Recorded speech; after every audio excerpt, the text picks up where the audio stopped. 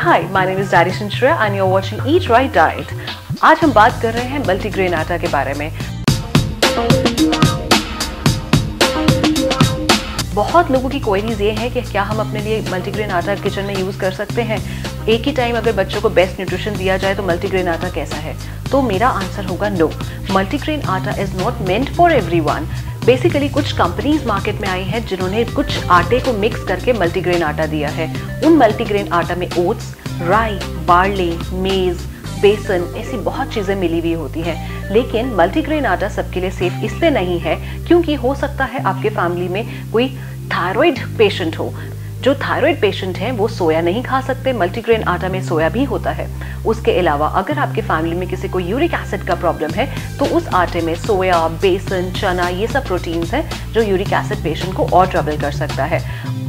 उसके अलावा हमें एक बात को अंडरस्टैंड करना है कि डाइजेस्टिव सिस्टम पे ज़्यादा लोड ना डालें।